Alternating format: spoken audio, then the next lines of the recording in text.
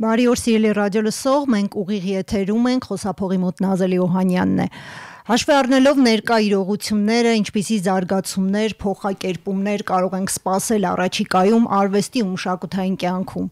Կան արդյոք շանսեր, նախադրյալներ վերադառնալու կյանքի նախկին ձևաչափին։ Եթե ոչ, ապա ինչ են առաջարկելու նոր փոխակերպումներն ու տրանսֆորմացիաները համավարակի ճգնաժամը հաղթահարելու եւ հնարավոր կորուստներից ու տրավմաներից խուսափելու համար։ Ահա այս հարցերն այսօր քննարկելու եմ արվեստաբան, արվեստի համադրող Վիգեն Վիգեն Գալստյանի հետ, ում այս պահին սիրով ողջունում եմ մեր տաղավարում։ Շնորհակալություն Վիգեն հրավեր ընդունելու համար։ Բարև ձեզ, շնորհակալություն հրավերի համար։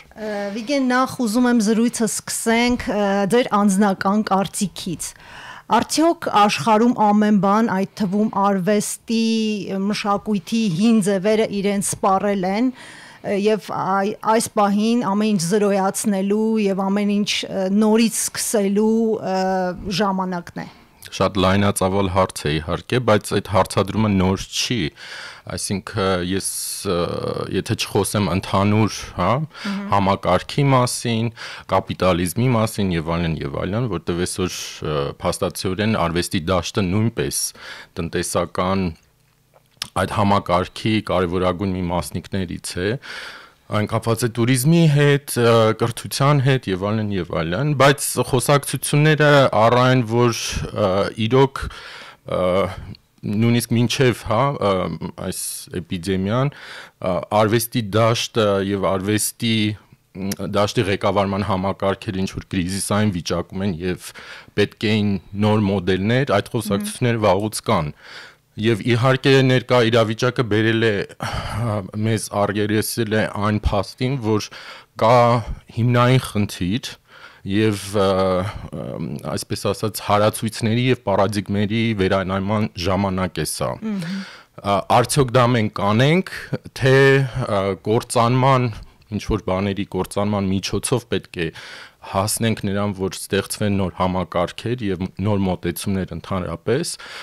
դա դեռ պետք է տեսնենք, բայց ակնհայտ է, որ դրսում արտասահմանում, հատկապես Եվրոպայում կան բացի խոսակցություններից արվում են որոշակի քայլեր, որպիսի վերանայվեն, հա, այդ մոտեցումներն ու մոդելները։ Նույն այդ արվեստ, մշակույթ, туриզմ, կոմերցիոն շուկա այդ հարաբերությունների վերանայման դեպքում թեկուզ Այսինքն դրա վերանայման խնդիրը կա ձեր կարծիքով, այսինքն դրանք ինչ որտեղ ճգնաժամի մեջ էին, հենց թեկուս նախքին մինչև համավարակը ավելի կոնկրետ։ Իհարկե, միանշանակ, որովհետև եթե արվեստը դիտարկում ենք որպես մարդկային ինքնության, մարդկային գործնեության կարևորագույն մասնիկներից մեկը եւ ընդհանրապես մարդկային իրավունք, դա այն ոլորտներից է, որը չպետք է կախված լինի շուկայից, այդ ոնց ասեմ, շահույթից եւ այլն, այդ մնացած այդ համակարգերից, որոնք հետապնդում են հիմնականում անverջ աճ, հա, ոնց որ ազատ տնտեսական այս նեոլիբերալ հա տնտեսության պայմաններում է եւ ցավոք սրտի նույն օրինակ եթե վերցնենք միջազգային խոշոր թանգարանների մոդելները դրանք առաջնորդվում էին ակամա հենց նույն գաղափարներից ելնելով որ պետք է անverջ աճի այցելուների քանակը այդ թանգարանները անընդհատ ուրճանան դառնան գլոբալ անընդհատ տարածվեն մեծանան մեծանան մեծանան բերեն ավելի շատ շահույթ Եվ այդտեղ արվեստը եւ արվեստագետը եւ արվեստի քաղաքական եւ հասարակական եւ փիլիսոփայական ինչու ոչ գործառույթները մղվում են յետին պլան արվեստի սոցիալական ներազդեցությունը մղվում էր յետին պլան եւ դա լուրջ խնդիր էր որովհետեւ արդեն մենք տեսնում ենք այն փաստը որ նույն խոշոր թանգարանների, ես չխոսամ մասնավոր թեկուս սեկտորի մասին, դրանց դրանցից շատերը արդեն ղեկավարում էին մարքեթինգային բաժինները եւ ադմինիստրացիա Հա, այո, այո, այսինքն այդ մշակույթի կոմերցիալիզացման գործընթացներ, որը ներկա դրության մեջ ցույց տվեց, որ ինքը իհարկե ոչ միայն վարկաբեկում է այս ամբողջ դաշտը, բայց նաև լուրջ վտանգի տակ է դնում արվեստագետին եւ արվեստի ոլորտում աշխատող մասնագետներին։ Իսկ արվեստագետները առհասարակ աշխարհում երբևէ ընդդիմացել են, երբևէ ծրագիր առաջարկել են նոր ծրագիր, ինչ որ այս ամեն ինչից դուրս գալու, նոր փոփոխություններ մտցնելու, թե ուղղակի հարմարվել են ստեղծված իրավիճակը։ Չէ, մի միանշանակ միանշանակ դիմադրություն եղել է, այսինքն էլի վերցնենք եւ եվրոպական եւ ամերիկյան փորձը, որտեղ օրինակ Անգլիայում շատ վերջի տարիներում շատ հաճախ են լինում բողոքի ցույցեր ակտիվիստ արվեստագետների կողմից միտված օրինակ խոշոր թանգարանների հովանավորչական, հա, կապերի դեմ օրինակ բրիտանական թանգարանը հովանավորում է BP-ին, որը խոշորագույն, հա, այդ նավթ արտադրող կազմակերպությունն է, վերջերս եղավ բողոք Whitney թանգարանում ֆարմացևտիկական այդ կազմակերպությունների կապերի հետ, այսինքն այդ բողոքի ալիքները եւ ակցիաները իհարկե գնալով շատանում են եւ հա, հարցի տակ էր դրվում այդ մշակութային կառույցների կապը այդ մնացած բոլոր ոչ այդքան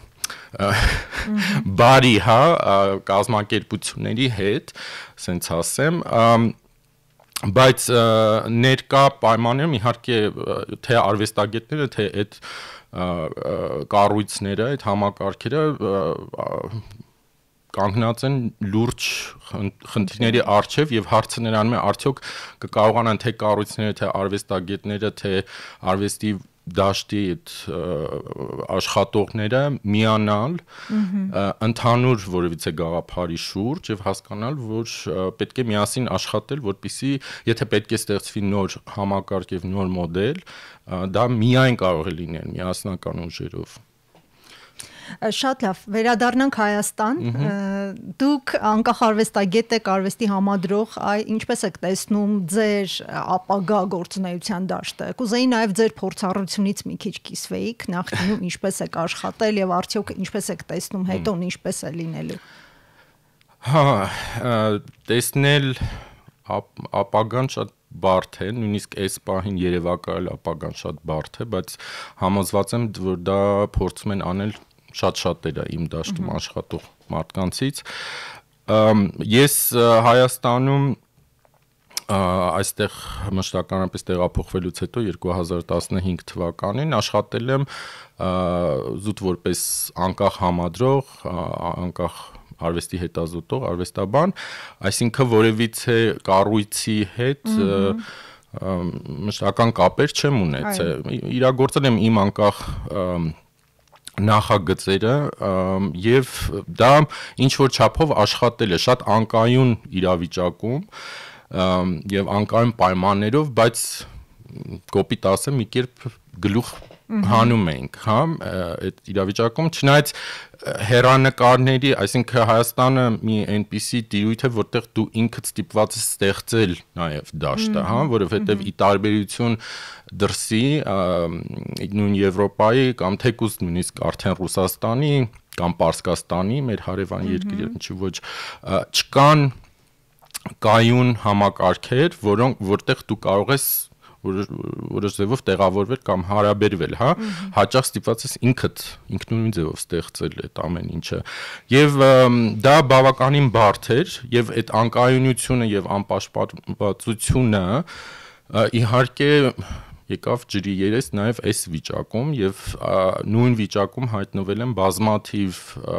արվեստագետներ, որոնք անկախ արվեստագետներ են, իրականացնում են անկախ գործառույթներ, պրոյեկտներ, նախագծեր, ստեղծա, ստեղծագործական եւ ներկա դրությունում, երբ որ բոլոր գրեթե հաստատությունները եւ բոլոր այն պայմանները, որ, որոնք որոշակի հնարավորություն են տալու ինչ որ այսպես ասած յուրացնել, հա, քո գործը եւ հասնել հանդիսատեսին եւ սպառողին, այսօր արդեն խափանված են եւ հայտնի չի, երբ այդ ամեն ինչը կվերադառնա ինչ որ որոշակի հա նորմալիզացված վիճակին։ Տվյալ հանգամանքներում իրոք հարցը նույնիսկ նրանում չէ որ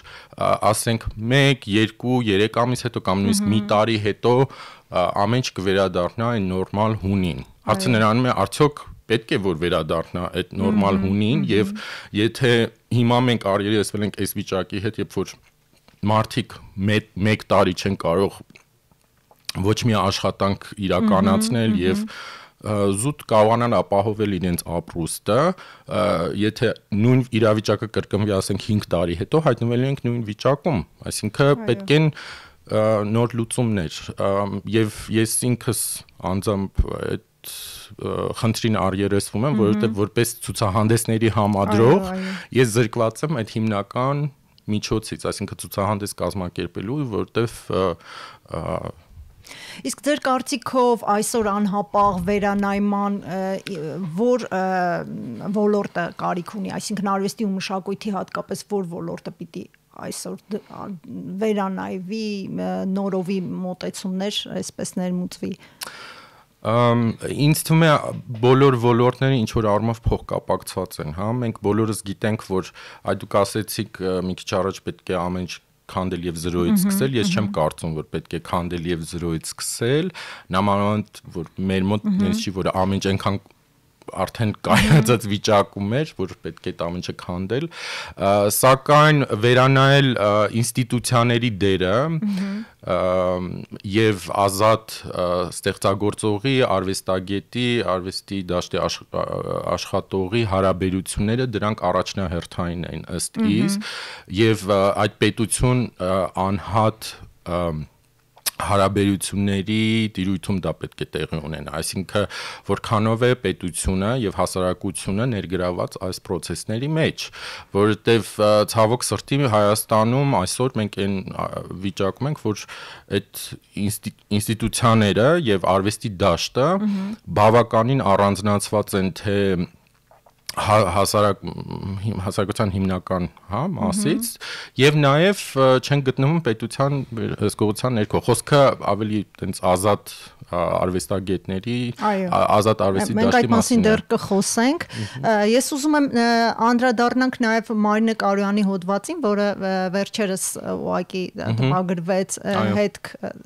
թերթում Այնտեղ ինքը խոսում էր, որ ճգնաժամը հնարավորություն է վերանայելու արվեստի մեջ ներգրաված բոլոր կողմերի դերերն ու դիրքերը։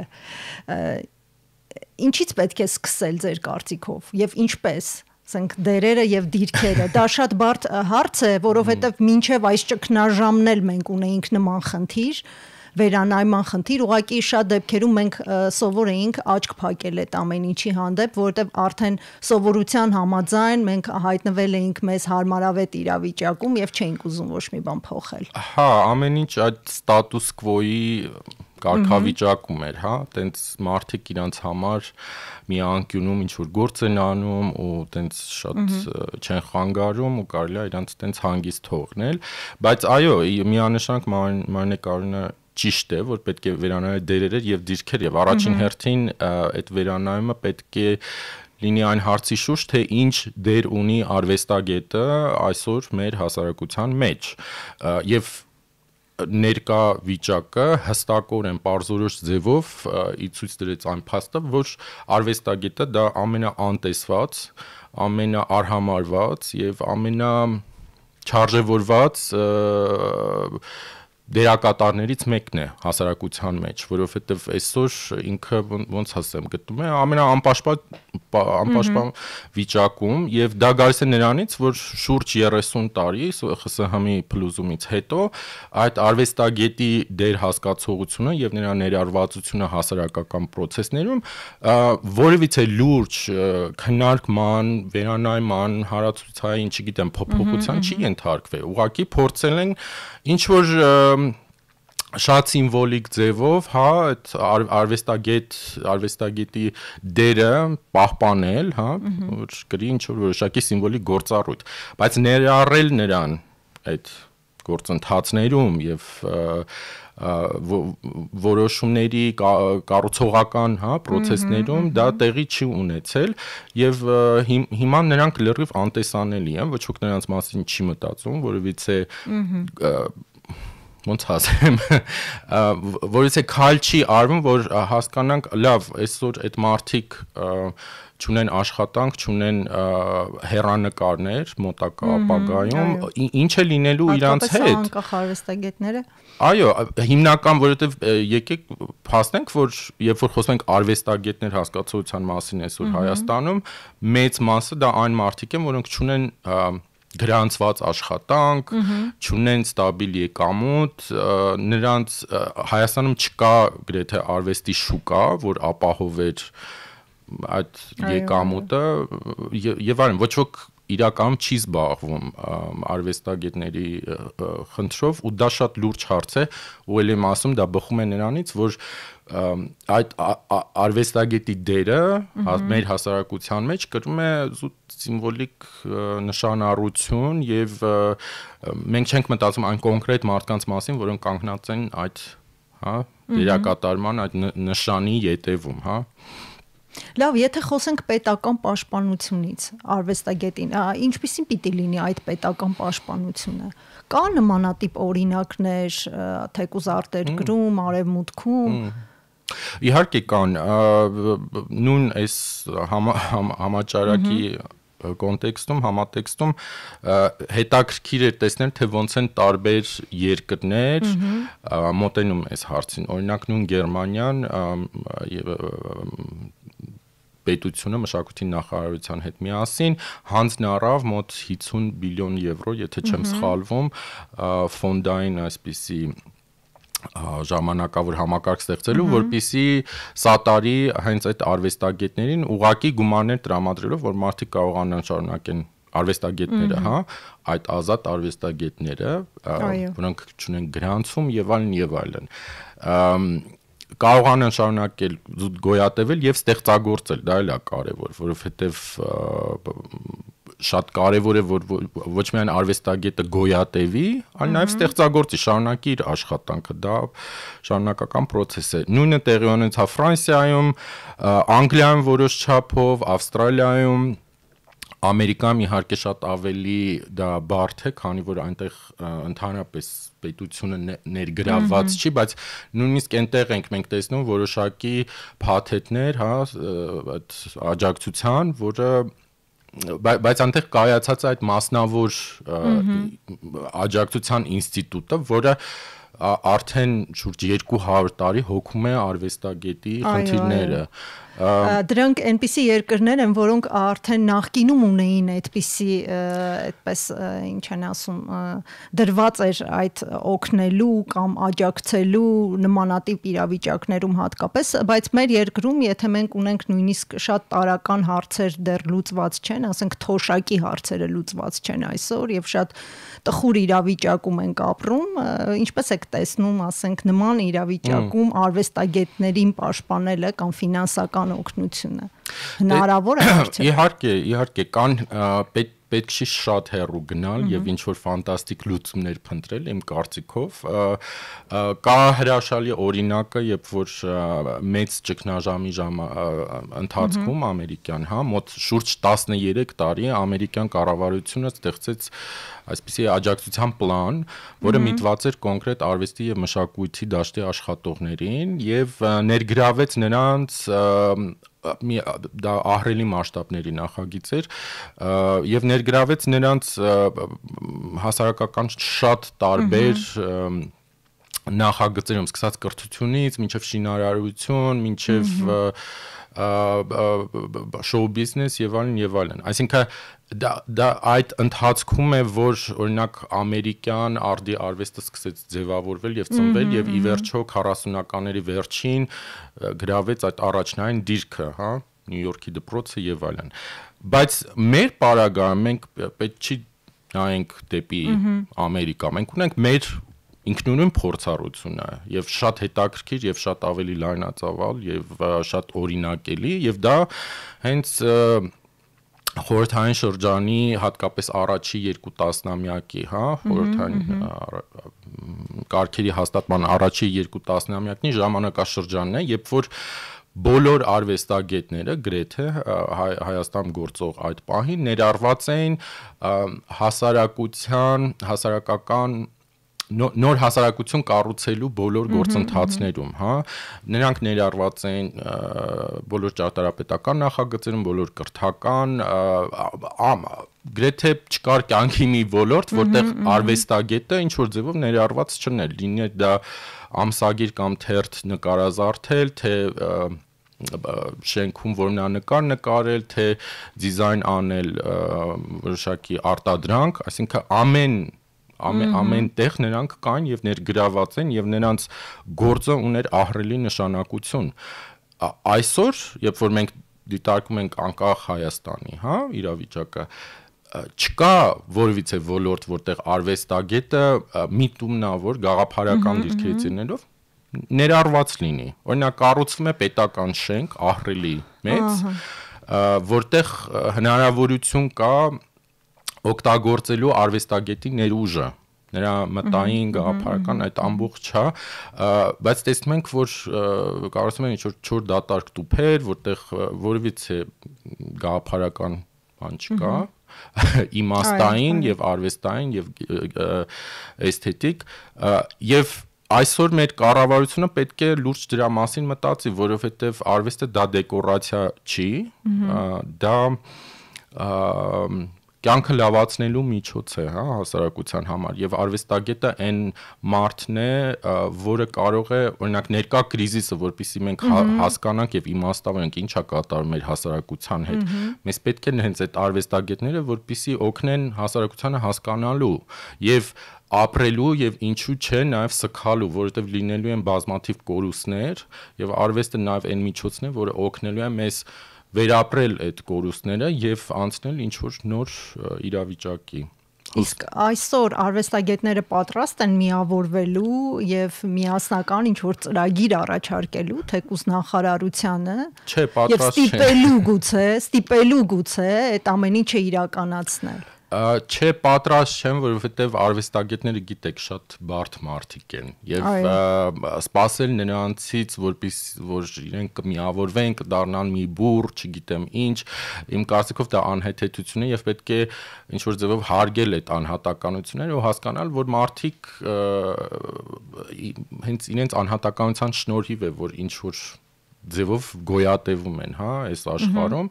եւ չսպասել նրանց, որ այ եկեք մոբիլիզացվեք, դարեք մի բռոնցք ու, չգիտեմ, ինչ որ մի գաղափար բրթեք առաջ, նման փորձեր եղել են եւ փաստացիորեն դա չի աշխատում։ Դա բանջից սկսել է դեպքում։ Ես կարծում եմ, որ ինիցիատիվան պետք է գա հենց պետությունից, պետությունը պետք է հասկանա արվեստի նշանակությունը իր այս գործառույթներում, որոնց մասին ես խոսեցի եւ առաջարկի որոշ լուծումներ, որովհետեւ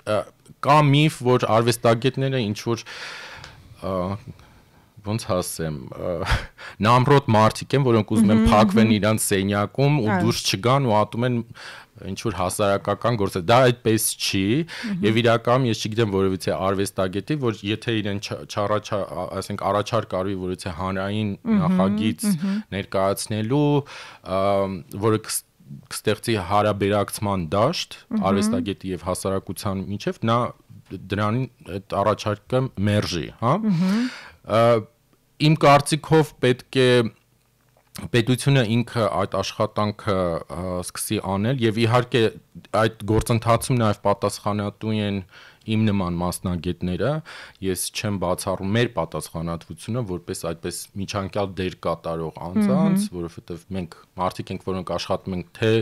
արվեստագետների հետ, թե պետական կառույցների, հա, ինչ որ ձևով միջնորդում ենք այդ հարաբերությունները ու եթե պետք է ակնկալել համախմբվածություն, դա ավելի շուտ մեր կոնկրետ իմ նեղ ոլորտի ներկայացուցիչներից պետք է ակնկալել կուրատորներից, արվեստաբաններից եւ այլն։ Ես հուսով եմ, որ ինչ որ մի պահի դա տեղի կունենա,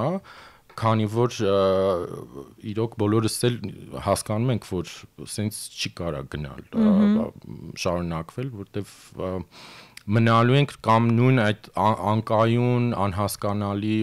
օթի մեջ սավառնող ինչ որ վիճակում, առանց որևիցե հիմքերի, եւ դա որևիցե լուրջ առաջընթացի չի բերելու, իսկ զուտ կրկնօրինակել այդ արևմտյան շուկայական մոդելը Հայաստանում եւ ակնկալել որ դե տենց էլ ինքն իրան որպես մեխանիզմ ինքը ինչ որ